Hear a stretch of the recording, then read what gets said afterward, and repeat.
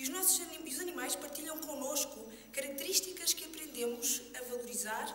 Lisboa tem de ser um exemplo, um município exemplar. Marisa Quaresma dos Reis é a nova provedora dos animais de Lisboa. Um cargo que, diz o Presidente da Câmara Municipal, passou a ser visto como um serviço necessário ao bem-estar dos animais e que deve ser a voz de alerta na Câmara e na cidade.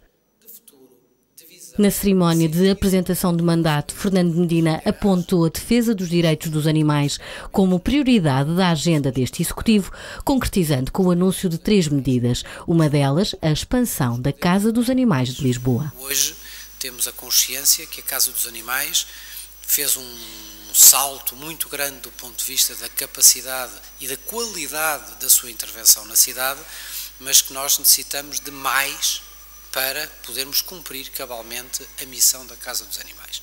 Este é um compromisso que nós temos inscrito no programa do Governo da cidade, é um compromisso que tem tradução nas grandes opções do plano para os próximos anos e terá certamente tradução orçamental para que a possamos vir a concretizar.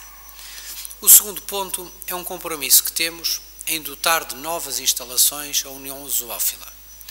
É uma entidade importante, desempenha um papel importante na vida da cidade e na vida da, da região e que entendemos que precisa de um salto do ponto de vista do investimento para que, podemos, para que possamos ter uma instituição mais apta a fazer face às respostas e àquilo que queremos, que é um tratamento com qualidade e com dignidade dos animais.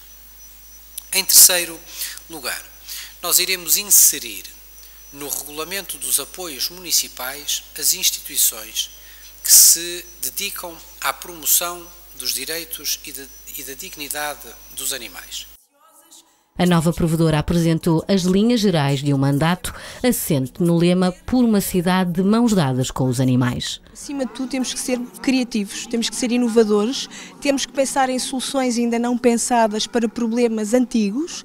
Uh, temos também que pensar na pacificação e aproximação de todos os atores da causa animal, apostar na sensibilização na formação das populações e das próprias entidades que lidam diariamente com questões de direito animal e maus tratos a animais e, e, e situações semelhantes e, uh, obviamente, apostar numa intervenção precoce uh, destas situações para evitar, obviamente, uh, desfechos dramáticos como aqueles que já temos assistido. Marisa Quaresma dos Reis garante que haverá novidades neste mandato e a primeira será apresentada no início de 2018, o Regulamento do Bem-Estar Animal.